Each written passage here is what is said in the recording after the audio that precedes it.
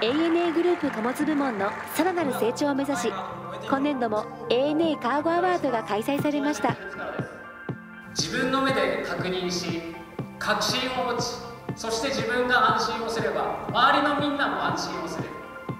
この安心の連鎖で安全は成り立ちます。7番をお取りになりました。グランプリは高松空港伊藤さん大変おめでとうございました頑張っていこうかなってやる気になりました。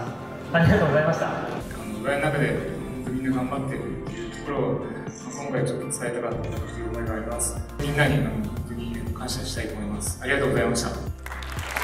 ガチッとあるだ。ガチカーゴ NT NT 正解。知識をそのまま今後の業務に活かせるようにいろんな部分の確認行為だとかそういうのをしっかりやっていって、まあ、安全の運行にそのまま寄与できればいいと思います。貨物部門のいろんなあのパートナーそれからいろんな会社の知と経験が結集できてとっても良かったと思います。